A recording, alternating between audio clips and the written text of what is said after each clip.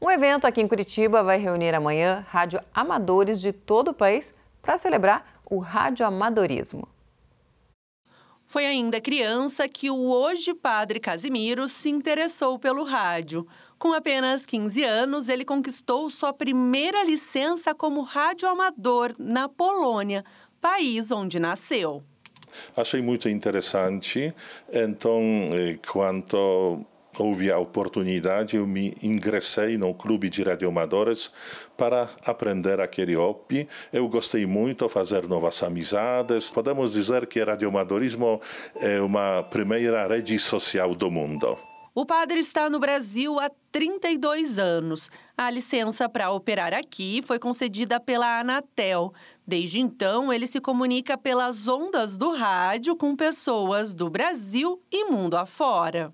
Um indicativo especial para comemorar 125 anos eh, da primeira transmissão de voz realizada pelo eh, Padre Landel de Moura.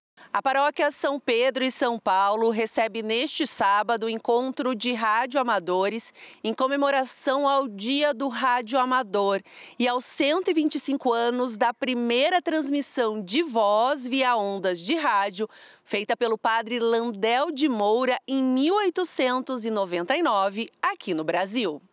Primeiramente, a intenção é homenagear o padre Roberto Landel de Moura, nosso patrono do radioamadorismo mundial, apesar de não ser reconhecido mundialmente, porém é o nosso patrono, ele que fez surgir as comunicações. E também em homenagem a nós, radioamadores, que comemoramos agora no dia 5 de novembro, o nosso aniversário de 100 anos de radioamadorismo no Brasil. O Mário também é radioamador e, junto com o padre Casimiro, idealizou o evento que deve reunir 200 radioamadores de todo o Brasil e é aberto à comunidade em geral.